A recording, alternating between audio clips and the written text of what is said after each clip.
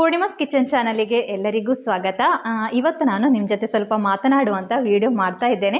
ಹಾಗೆ ನನ್ನ ಕಾಸರಗೋಡು ಜರ್ನಿಯನ್ನು ಹೇಳ್ತಾ ಇದ್ದೇನೆ. ಹಾಗೆ ಕೆಲವರು ನನಗೆ ಫೇಸ್ಬುಕ್ ಮೆಸೆಂಜರ್ನಲ್ಲಿ ಮೆಸೇಜ್ ಮಾಡ್ತಾ ಇರ್ತಾರೆ.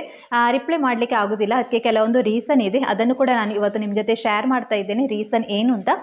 ಫಸ್ಟ್ ನಾನು ನನ್ನ ಕಾಸರಗೋಡು ಜರ್ನಿಯನ್ನು ಹೇಳ್ತಾ ಇದ್ದೇನೆ. ನಾನು ನನ್ನ ಅಪ್ಪ ಅಮ್ಮನಿಗೆ ಎರಡನೆಯ ಮಗಳು. ಫಸ್ಟೇದು ನನ್ನ ಅಕ್ಕ ಸೆಕೆಂಡೇ ನಾನು ತರ್ಡ್ ನನ್ನ ತಂಗಿ. ನಾನು ಒಂದನೇ ಕ್ಲಾಸಿಂದ ಏಳನೇ ಕ್ಲಾಸಿನವರೆಗೆ ಗವರ್ಮೆಂಟ್ ಜಿ ಯು ಪಿ ಸ್ಕೂಲಲ್ಲಿ ಕಲಿತೆ. ಹಾಗೆ ಎಂಟನೇ ಕ್ಲಾಸಿಂದ ಹತ್ತನೇ ಕ್ಲಾಸಿನವರೆಗೆ ಕಾಸರಗೋಡು ಬಿ ಎಂ ಹೈಸ್ಕೂಲಲ್ಲಿ ಕಲಿತೆ. ಅದರ ನಂತರ ಪ್ಲಸ್ ಒನ್ ಪ್ಲಸ್ ಟು ನಾನು ವಿಮೆನ್ಸ್ ಕಾಲೇಜಿಗೆ ಹೋದೆ, ಕಾಸರಗೋಡು ವಿಮೆನ್ಸ್ ಕಾಲೇಜಿಗೆ ಈ ಪ್ಲಸ್ ಟು ಎಕ್ಸಾಮ್ ಟೈಮಲ್ಲಿ ಏನಾಯಿತು ಅಂತ ಹೇಳಿದರೆ ಎಕ್ಸಾಮಿಗೆ ನಾನು ಮನೆಯಲ್ಲಿ ಓದ್ತಾ ಇರುವ ಟೈಮಲ್ಲಿ ನನ್ನ ಫ್ರೆಂಡ್ಸ್ನವರು ಮನೆಗೆ ಬಂದರು. ನನ್ನ ಒಬ್ಬಳು ಬೆಸ್ಟ್ ಫ್ರೆಂಡ್ ಇದ್ಲು, ಪ್ರಿಯಾ ಅಂತ. ಪ್ರಿಯಾ ಮತ್ತು ಜ್ಯೋತಿ ಅಂತ ಇಬ್ಬರು ಕೂಡ ನನ್ನ ನನ್ನ ಮನೆಗೆ ಬಂದರು. ಯಾಕೆ ಇವತ್ತು ಎಕ್ಸಾಮ್ ಬರಲಿಲ್ಲ ಅಂತ? ನನಗೆ ಶಾಕ್ ಆಯಿತು. ಏನು ಇವತ್ತಲ್ಲ ನಾಳೆ ಎಕ್ಸಾಮ್ ಅಲ್ಲ ಅಂತ. ನೋಡುವಾಗ ಅವತ್ತು ಎಕ್ಸಾಮ್ ಇತ್ತು. ನನಗೆ ಗೊತ್ತೇ ಇಲ್ಲ. ಟೈಮ್ ಟೇಬಲ್ ಬರೆದದ್ದು ಚೇಂಜ್ ಆಗಿತ್ತು. ಹಾಗಾಗಿ ನನ್ನ ಒಂದು ವರ್ಷ ಅಲ್ಲಿ ವೇಸ್ಟ್ ಆಯಿತು. ಆ ಒಂದು ವರ್ಷ ನಾನು ವೇಸ್ಟ್ ಆಗಬಾರ್ದು ಅಂತ ನಾನೊಂದು ಅಲ್ಯೂಮಿನಿಯಂ ಶೋರೂಮಲ್ಲಿ ಕೆಲಸ ಮಾಡ್ತಾ ಇದ್ದೆ. ಆ, ಒಂದು ಟೈಮ್ನಲ್ಲಿ ನಾನು ಎಕ್ಸಾಮ್ ಕಂಪ್ಲೀಟು ಕೂಡ ಮಾಡಿದೆ. ಅದರ ನಂತರ ನಾನು ಅದೇ ಕಾಲೇಜಿಗೆ ಅದೇ ಕಾಲೇಜಿಗೆ ಡಿಗ್ರಿಗೆ ಸೇರಿಕೊಂಡೆ ನಾನು. ಹಾಗೆ ನಾನು ಡಿಗ್ರಿ ಸೆಕೆಂಡ್ ಇಯರ್ ಇರುವ ಟೈಮಲ್ಲಿ ನನ್ನ ಅಕ್ಕನೊಬ್ಳು ಫ್ರೆಂಡ್ ಇದ್ಲು, ಭವ್ಯ ಅಂತ. ಅವಳು ಕೆ ಸಿ ಎನ್ ಚಾನಲಲ್ಲಿ ನ್ಯೂಸ್ ರೀಡ್ ಮಾಡ್ತಾ ಇದ್ಲು. ಹಾಗೆ ಅವಳು ನನ್ನ ಮನೆಗೆ ಬರುವ ಟೈಮಲ್ಲಿ ನನ್ನ ಅಮ್ಮ ನನ್ನ ಮಗಳಿಗೆ ಕೊಡೊಂದು ಅವಕಾಶ ಅಲ್ಲಿ ಮಾಡಿಕೊಡು ಅಂತ ಕೇಳಿದರು. ಹಾಗೆ ಅವಳು ನನ್ನನ್ನು ಕೆ ಸಿ ಎನ್ ಚಾನಲಿಗೆ ಕರ್ಕೊಂಡು ಹೋದ್ಲು. ಅಲ್ಲಿ ನನ್ನ ಸೌಂಡ್ ಟೆಸ್ಟ್ ಮಾಡಿದರು. ಹಾಗೆ ನಾನು ಅಲ್ಲಿ ಕೆ ಸಿ ಎನ್ ಚಾನಲಲ್ಲಿ ಸೆಲೆಕ್ಟ್ ಆದೆ. ಹಾಗೆ ನಾನು ನಾನು ಓದುವ ಟೈಮಲ್ಲೇ ನ್ಯೂಸ್ ರೀಡಿಂಗ್ ಕೂಡ ಮಾಡ್ತಾ ಇದ್ದೆ. ಹಾಗೆ ನನ್ನ ಫೈನಲ್ ಇಯರ್ ಎಕ್ಸಾಮ್ ಆಯಿತು. ಫೈನಲ್ ಇಯರ್ ಎಕ್ಸಾಮಲ್ಲಿ ಒಂದು ಸಬ್ಜೆಕ್ಟ್ ಹೋಗಿತ್ತು ಇಂಗ್ಲೀಷ್ ಸಬ್ಜೆಕ್ಟ್ ಮತ್ತು ನಾನು ಅದನ್ನು ಬರೀಲಿಕ್ಕೆ ಹೋಗಲಿಲ್ಲ, ಬೇಡ ಅಂತ. ಹಾಗೆ ನನ್ನ ಎಜುಕೇಷನನ್ನು ನಾನು ಅಲ್ಲಿಗೆ ಸ್ಟಾಪ್ ಮಾಡಿದೆ. ಎಜುಕೇಷನ್ ಎಜುಕೇಷನ್ ಸ್ಟಾಪ್ ಆದ ನಂತರ ನಾನು ನೆಕ್ಸ್ಟ್ ನಾನು ಒಂದು ಕೇಬಲ್ ಶಾಪಿಗೆ ಕೆಲಸಕ್ಕೆ ಅಂತ ಹೋದೆ. ಅಲ್ಲಿ ನಾನು ಸ್ವಲ್ಪ ಸಮಯ ಇದ್ದೆ. ಅದರ ನಂತರ ನಾನು ಬಜಾಜ್ ಶೋರೂಮ್ ಅಂತ ಬೈಕಿನ ಶೋರೂಮಲ್ಲಿ ಕೆಲಸ ಮಾಡ್ತಾ ಇದ್ದೆ. ಅಲ್ಲಿ ಕೂಡ ನಾನು ಸ್ವಲ್ಪ ಸಮಯ ಇದ್ದೆ. ಅದರ ನಂತರ ನಾನು ಸುಜುಕಿ ಶೋರೂಮಿಗೆ ಹೋದೆ. ಒಂದು ಕಡೆಯಿಂದ ಒಂದು ಕಡೆಗೆ ಯಾಕೆ ಶಿಫ್ಟ್ ಆಗ್ತಾ ಇದ್ದೆ ಹೇಳಿದರೆ ಸ್ಯಾಲರಿ ಇಲ್ಲಿ ಜಾಸ್ತಿ ಸಿಗ್ತದೆ. ಅಲ್ಲಿಗೆ ನಾನು ಹೋಗ್ತಾ ಇದ್ದೆ. ಹಾಗೆ ಇದರ ಎಡೆಯಲ್ಲಿ ನಾನು ನ್ಯೂಸ್ ರೀಡಿಂಗ್ ಮಾಡ್ತಾ ಇದ್ದೆ. ಐದು ವರ್ಷ ನಾನು ನ್ಯೂಸ್ ರೀಡರ್ ನ್ಯೂಸ್ ರೀಡಿಂಗ್ ಕೆಲಸ ಮಾಡ್ತಾ ಇದ್ದೆ. ಹಾಗೆ ಸುಜುಕಿ ಶೋರೂಮಲ್ಲಿ ಇರುವ ಟೈಮಲ್ಲಿ ನನಗೆ ಮ್ಯಾರೇಜ್ ಫಿಕ್ಸ್ ಆಯಿತು. ಹಾಗಾಗಿ ನಾನು ಕೆಲಸ ಬಿಟ್ಟು ಮ್ಯಾರೇಜ್ ಆಯಿತು. ಎರಡು ಸಾವಿರದ ಎರಡು ಸಾವಿರದ ಹದಿಮೂರರಲ್ಲಿ ಮ್ಯಾರೇಜ್ ಆಯಿತು ನಂದು. ಹಾಗೆ ನಾನು ಕಾಸರಗೋಡಿಂದ ಮೂಡುಬಿದ್ರೆಗೆ ಬಂದೆ. ಹೀಗೆ ನನ್ನ ಕಾಸರಗೋಡು ಜರ್ನಿ ಹೀಗಿತ್ತು. ಹಾಗೆ ಇನ್ನೊಂದು ಫೇಸ್ಬುಕ್ ಮೆಸೆಂಜರ್ನವರ್ ಫೇಸ್ಬುಕ್ ಮೆಸೆಂಜರ್ನಲ್ಲಿ ಮೆಸೇಜ್ ಮಾಡುವವರ ಒಂದು ಕ್ವಶನ್ ಇದೆ. ಯಾಕೆ ಮೆಸೇಜಿಗೆ ರಿಪ್ಲೈ ಮಾಡ್ತಾ ಇಲ್ಲ ಅಂತ? ಅಷ್ಟು ಕೂಡ ಅಹಂಕಾರನ ಅಂತ ತುಂಬ ಜನ ಮೆಸೇಜ್ ಮಾಡ್ತಾ ಇದ್ದೀರಾ? ಅದಕ್ಕೆ ದೊಡ್ಡದೊಂದು ಕಾರಣ ಇದೆ. ಯಾಕೆಂದರೆ ನಾನು ಯೂಟ್ಯೂಬ್ ಸ್ಟಾರ್ಟ್ ಮಾಡುವ ಫಸ್ಟ್ ಟೈಮ್ ತುಂಬ ಜನಕ್ಕೆ ತುಂಬ ಜನರ ಫ್ರೆಂಡ್ ರಿಕ್ವೆಸ್ಟನ್ನು ಆ್ಯಕ್ಸೆಪ್ಟ್ ಮಾಡ್ತಾ ಇದೆ. ಯಾಕೆಂದರೆ ನನ್ನ ಒಂದು ಯೂಟ್ಯೂಬ್ ಚಾನಲ್ ಎಲ್ಲರೂ ನೋಡಲಿ ಎನ್ನುವ ಉದ್ದೇಶಕ್ಕಾಗಿ. ಹಾಗೆ ಅವರಿಗೆ ಲಿಂಕ್ ಕೂಡ ಕಳಿಸ್ತಿದ್ದೆ ಕೆಲವರು ತುಂಬ ಜನ ಸಬ್ಸ್ಕ್ರೈಬ್ ಕೂಡ ಮಾಡಿದ್ದಾರೆ. ಹಾಗೆ ಒಂದು ದಿನ ಒಬ್ಬರಿಗೆ ಲಿಂಕ್ ಕೂಡ ಕಳಿಸಿದೆ. ಲಿಂಕ್ ಕಳಿಸುವಾಗ ಅವರು ಓಕೆ ಸಬ್ಸ್ಕ್ರೈಬ್ ಮಾಡ್ತೇನೆ ಅಂತ ಹೇಳಿದರು. ಅದರ ನಂತರ ಒಂದು ನನಗೆ ಮೆಸೇಜ್ ಬರ್ತದೆ ಅವರದು.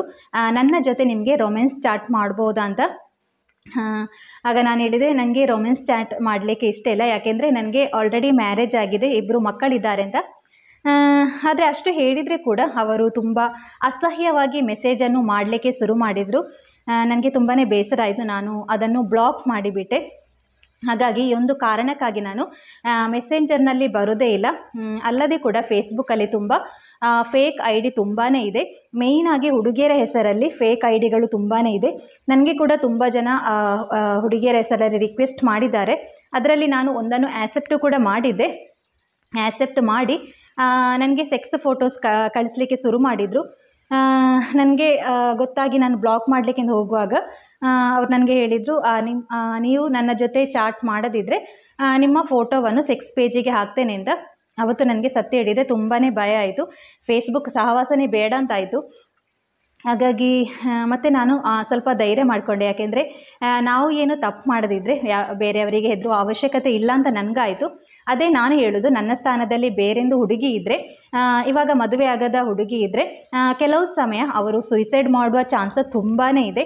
ಹಾಗಾಗಿ ನಾನು ಹೇಳೋದೇನೆಂದರೆ ಫೇಸ್ಬುಕ್ ತುಂಬ ಡೇಂಜರ್ ಕೂಡ ಇದೆ. ಹಾಗಾಗಿ ಹೆಣ್ಣು ಮಕ್ಕಳು, ಮದುವೆ ಆಗದ ಹೆಣ್ಣು ಮಕ್ಕಳು ಅವರ ಅವರ ಸೇಫ್ಟಿಯಲ್ಲಿರೋದು ತುಂಬಾ ಒಳ್ಳೆಯದು ಅಂತ ಹೇಳ್ತಾ ಇದ್ದೇನೆ. ಹಾಗೆ ಅಂಥ ಮಾತಿಗಳಿಗೆ ಹೆದರದೇ ಇರುವುದು ತುಂಬಾ ಮುಖ್ಯ. ಹಾಗೆ ನಾನು ನನ್ನ ಒಂದು ಫೇಸ್ಬುಕ್ ಅಕೌಂಟನ್ನು ಕೂಡ ಕ್ಲೋಸ್ ಮಾಡಬೇಕು ಅಂತ ಇದ್ದೆ ಅವತ್ತೆಯ. ಮತ್ತು ಸದ್ಯಕ್ಕೆ ಇವಾಗ ಮಾಡಲಿಲ್ಲ, ಇರಲಿ ಅಂತ. ನಾನು ನನ್ನ ಲಿಂಕನ್ನೊಂದು ಹಾಕಿ ಬಿಡ್ತೇನೆ. ನಾನು ಯೂಟ್ಯೂಬ್ ಚಾನಲಲ್ಲಿ ವಿಡಿಯೋ ಹಾಕುವಾಗ ಅದನ್ನು ಫೇಸ್ಬುಕ್ಕಿಗೆ ಶೇರ್ ಮಾಡಿ ಇಡ್ತೇನೆ. ಅಲ್ಲದೆ ನಾನು ಫೇಸ್ಬುಕ್ ನೋಡೋದು ತುಂಬಾ ಕಮ್ಮಿ ಮಾಡಿದ್ದೇನೆ ಇವಾಗ. ಹೆದರಿಕೆ ಅಂತಲ್ಲ ಯಾಕೆ ಸುಮ್ಮನೆ ಅದೆಲ್ಲ ಕೇಳೋದು ಅಂತ. ಹಾಗೆ ನಾನು, ಆ ಮೆಸೆಂಜರ್ ಬಗ್ಗೆ ಇಷ್ಟು ನನಗೆ ಹೇಳಲಿಕ್ಕಿತ್ತು.